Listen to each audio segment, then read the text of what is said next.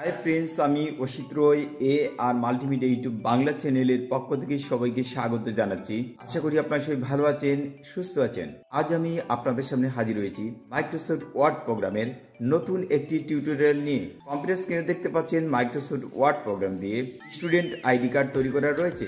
আজকের টিউটোরিয়ালে আমরা শিখব কীভাবে মাইক্রোসফট ওয়ার্ড প্রোগ্রাম দিয়ে স্কুল, কলেজের ছাত্রছাত্রীদের জন্য স্টুডেন্ট আইডি কার্ড তৈরি করতে হয়। তাহলে শুরু করে যাক আজকের টিউটোরিয়ালটি।